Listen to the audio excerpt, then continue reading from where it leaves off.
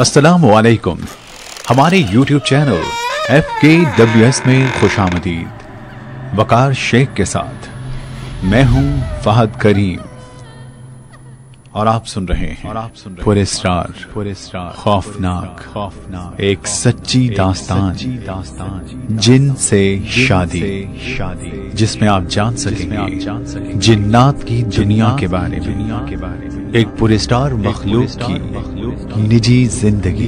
ज़िंदगी। तो ये सब देखने और सुनने के लिए सब्सक्राइब कीजिए हमारे YouTube channel horror stories F K W S को। और प्रेस कीजिए बेल आइकन को भी। ये बिल्कुल फ्री ऑफ़ कॉस्ट है।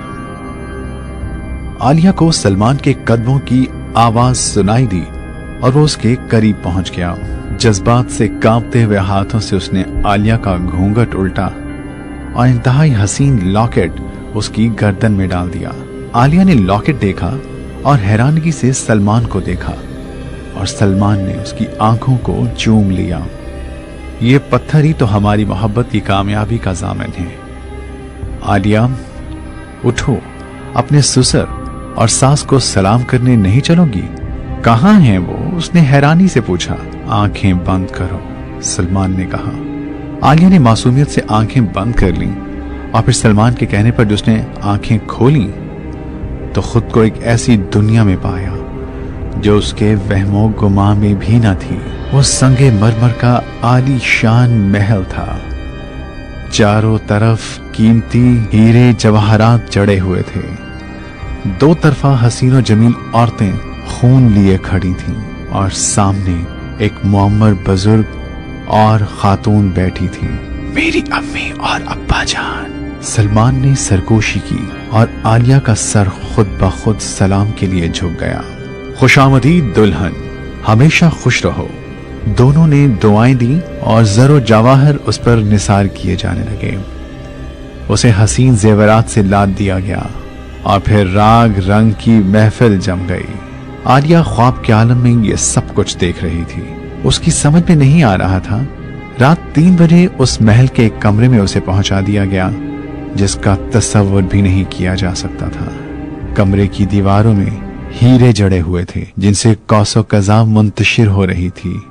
एक सोने का छप्पर खट मौजूद था। ये मेरा घर है, आलिया। उस दिन बरगद के दरख्त के नीचे तुम बैठी थी।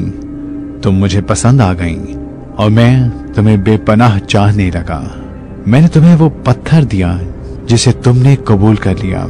ये हमारे यहाँ मंगनी की रस्म होती है। मैंने अपने वालदेन से कहा कि तुमसे शादी करना चाहता हूँ। लेकिन आलिया, हम में और तुम में एक फ़र्क है। हम आतिशी हैं। तुम मट्टी से बनी हो।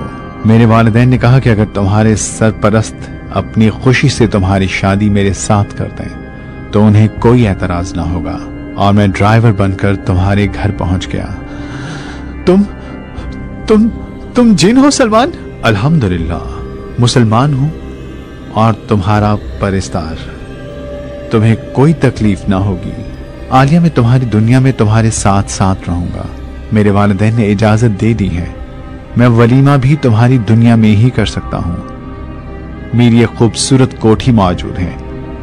ऐसी कोठी जो तुम्हारे दुश्मनों ने ख्वाब में भी ना देखी होगी। कल सबको उस कोठी में बुलाएँगे और उस वक्त उनकी हालत काबिल दीद होगी। मैंने तुमसे ये राज छुपाकर अपने दिल में हमेशा चोर महसूस किया है। क्या तुम इस बात पर मुझे ठुकरा दोगी, आलिया? नहीं, सलमान नहीं। आलिया ने उसके सीने में सर छुपा दिया। घर के तमाम लोग एयर कंडीशन कमरों में आराम कर रहे थे। बाहर सख्त लू चल रही थी। झुलसा देने वाली लू। उसने उदासी से खिड़की खोली और जैसे लू का थप्पड़ उसका इंतज़ार ही कर रहा था। एक जन्नाटेदार थप्पड़ उसके गाल पर पड़ा और उसका गला तुम तमा गया। उसने जल्दी से खिड़की बंद की। मेरे खुदा, कैसी शदीद लू चल रही है? उसने सोचा। और चटखनी लगाकर वापस अपने बिस्तर की तरफ़ चल पड़ी। दीवार के साथ लगी हुई घड़ी की सुइयाँ दो बजा रही थी। उसे ठीक चार बजे बावर्ची खाने की तरफ़ जाना था। शाम की चाय ठक पाँच बजे लगती थी। गोया भी आराम के लिए दो घंटे थे। आराम का वक्त भी उसे शदीद गर्मी और लू की वजह से मिल गया था। वरना अगर दूसरे लोग बाहर होते तो न किसी ना किसी काम में उसे ज़रूर उलझा देते। इस वक्त भी कोई काम उसके सपुर्द किया जा सकता था। कुछ ना सही तो चची अम्मा के पाँव ही दबाने होते। लेकिन इस वक्त अगर चची अम्मा उसके पाँव दबाती तो उसे भी एयर कंडीशन कमरे की ठंडक नसीब हो सकती थी। और ये बात किसी को गवारा न थी। उसने गहरी सांस ली और उसकी निगाह आईने पर जा पड़ी। लू के थपेड़े से सुर्ख गाल अभी तक कौसो कजा का मंजर पेश कर रहे थे। वो आहिस्ता आहिस्ता आईने की तरफ़ बढ़ गई और आईने ने उसका सरापा पेश कर दिया।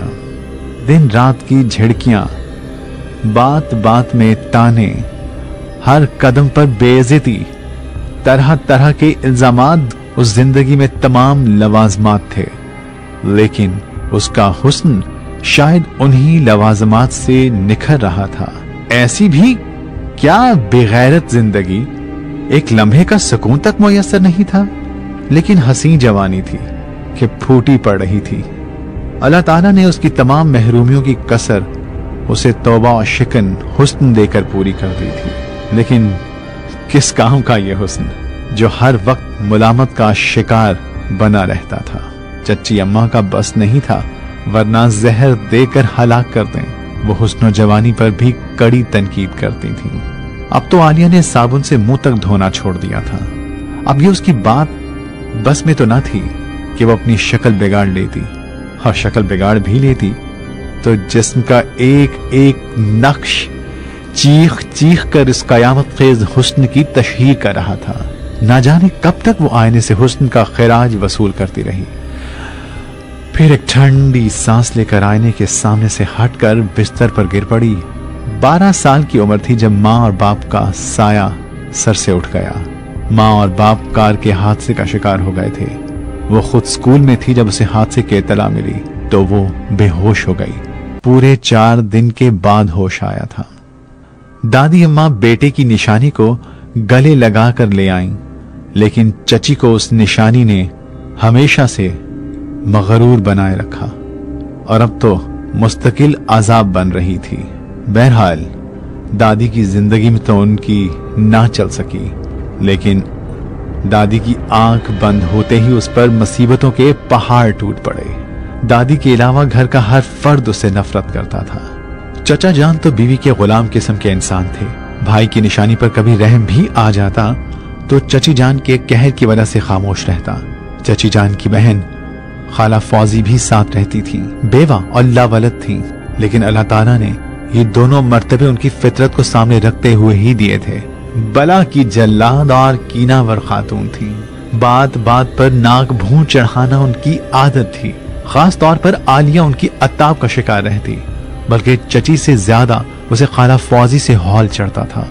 वो गई, शमसा और उजमा तो बचपन में ठीक रही, लेकिन जवानी आई तो आलिया के मुकाबले में बुरी तरह एहसास कमतरी ने उनके दिलों में आलिया के लिए नफरत पैदा कर दी। आलिया का मामूली लिबास उस मेकअप से आरी चेहरा, उनके हज़ार मेकअप ज़्यादा चेहरों से कहीं बढ़कर हसीन था। बहुत सी तकारीब में उन्हें इस बात का अंदाज़ा हो चुका था। चनाचे घर की तकारीब आलिया का मुकम्मल बायकॉट कर दिया गया था। बहर सूरत कौन सी हकारत थी जो आलिया के इंतज़ाम ना किए गए थे? वो हर अजाब को खामोशी से झेल रही थी। उसकी ज़िंदगी में कोई बहार न थी। उसे नहीं मालूम था कि उसका मुस्तकबिल क्या होगा। बिस्तर पर बैठी वो इन्हीं हालात में ना जाने कब तक खोई हुई रही। उस दीवार के साथ लगी हुई घड़ी ने तीन बजाए और वो ख्यालात के भंवर से निकल आई।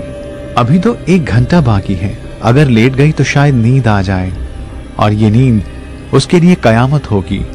अगर जरा भी देर हो जाती तो घर वाले चीख चीख कर आसमान सर पर उठा लेते। कमरे में तनहा बैठे बैठे दिल घबराने लगा। बाहर लू चल रही थी, वरना बाएँ बाग में ही चली जाती। हो, लू क्या करेगी? अच्छा है, बीमार हो जाऊँगी। कुछ दिन तो सुकून से मिल जाएँगे। मर भी जाऊँगी तो क्या है? कौन सी कीमती ज़िंदगी है जो किसी को तकलीफ़ होगी? उसने सोचा, और यह सोच इस कदर शदीद हुई कि वो कमरे के दरवाजे की तरफ़ बढ़ गई। दरवाज़ा खोला। और बाहर निकल आई। बाहर कदम रखते ही गर्मी की हकीकत मालूम हुई, लेकिन कमरे में भी नहीं रहा जा सकता था।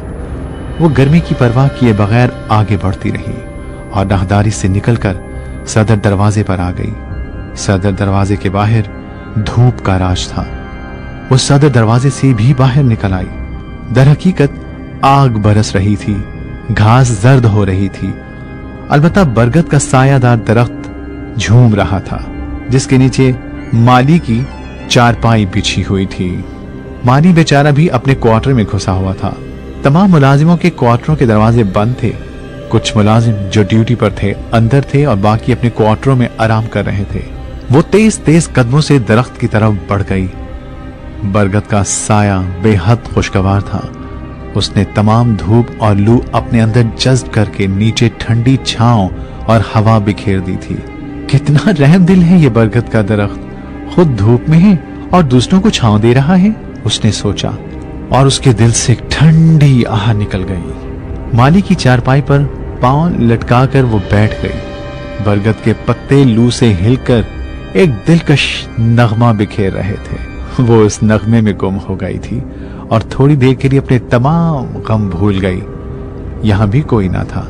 वीरानी जो उसका मुकद्दर थी लेकिन नहीं बरगद का वो दरख्त, उसका हमदर्द था। वो गीत सुना रहा था। उसकी निगाह एक चमकदार नुक्ते पर जम गई और जहन न जाने किन किन ख्यालात का मंच बन गया। बहुत देर गुजर गई। अचानक से उसे कदमों की आहट महसूस हुई और वो चौंक पड़ी। उसने मुड़कर देखा और एक साया सा उसके सर से गुजर गया। लेकिन पीछे तो कोई भी ना था। उसने दाएँ, बाएँ, दोनों तरफ़ देखा, ये कदमों की चाप कैसी थी? मुमकिन है कोई गुलहरी सूखे पत्तों से गुजर कर दरख्त पर चढ़ गई हो। उसने सोचा और फिर पुरसकून हो गई। ज़ाहिर है इस गर्म दोपहर में सब इस जैसे दीवाने तो नहीं बन सकते।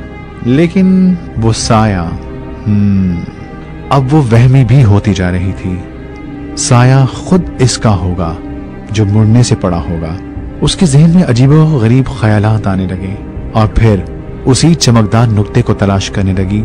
जो बरगद की जड़ में था। नग ऐसे मिल गया था, लेकिन इस बार वो बेख्याल ना हो सकती। वो चमकदार चीज़ क्या है, जिसे वो बहुत देर से देख रही थी। लेकिन उसके बारे में उसने अभी तक नहीं सोचा था। एक सफ़ेद सी चमकदार चीज़ थी।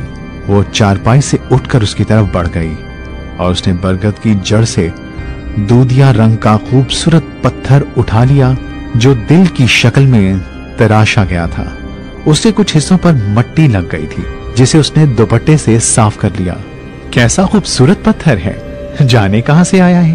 कीमती भी मालूम होता है। मुमकिन है किसी जेवर से निकल गया हो, लेकिन इस दरख्त के नीचे। और फिर इसकी तराश भी वैसी नहीं थी कि किसी भी जेवर से उखड़ा हुआ हो। इसके अलावा काफ़ी पुराना भी मालूम होता है। वो पत्थर को हथेली पर रख कर देखने लगी। बिलाशुबा वो पत्थर बेहद हसी और जाजिबे निगाह है। उसे वो पत्थर बेहद पसंद आया। वो उसे अपने पास रखेगी। अगर किसी ने अपना बताया तो उसे वापस कर देगी।